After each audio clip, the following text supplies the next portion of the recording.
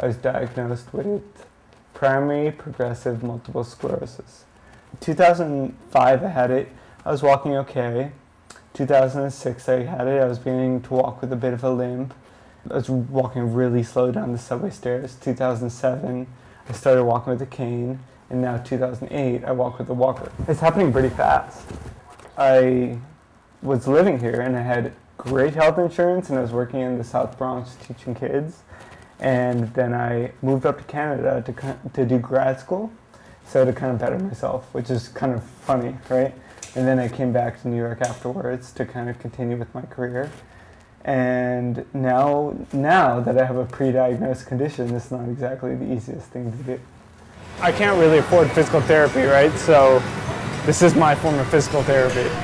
You know, working with a personal trainer, you know, it's as close as I can come.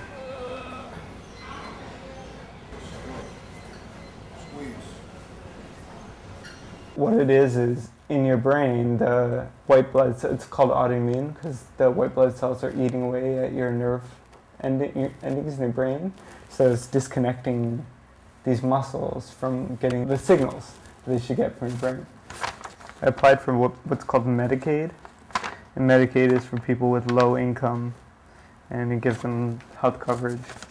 We are sending you this letter to tell you that you are, your medical assistance has been denied. For the kind of uh, medicine that I need, I'd have to be paying $1,500 a month. It's a little bit of a pickles system that we're dealing with here, and nobody really has any answers for it.